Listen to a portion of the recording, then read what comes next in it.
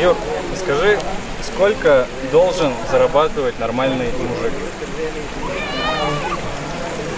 Нормальный мужик должен быть нормальным мужиком.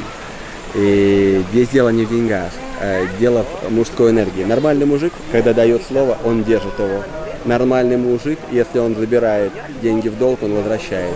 Нормальный мужик, в нем нет женской энергии. Хочу это, не хочу это. Хочу это, не хочу это. Буду, не буду. Нормальный мужик говорит и делает.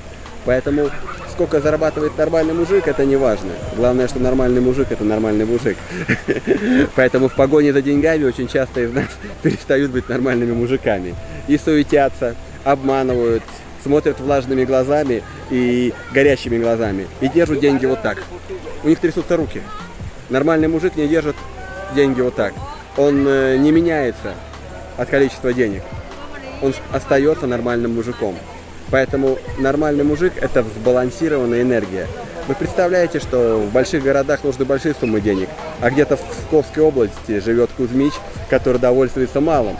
Но он нормальный мужик, гораздо лучший, приятный собеседник, чем эти бизнесмены, которые находятся в Москве и где-то угодно.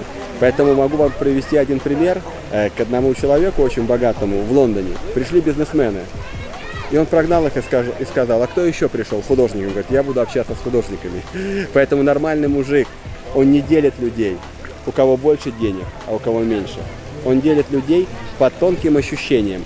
Тонким ощущениям это кому лежит душа, с кем приятно общаться и от кого идет тепло. Поэтому будьте стабильными, будьте сильными и излучайте тепло. И не продавайте себя за деньги.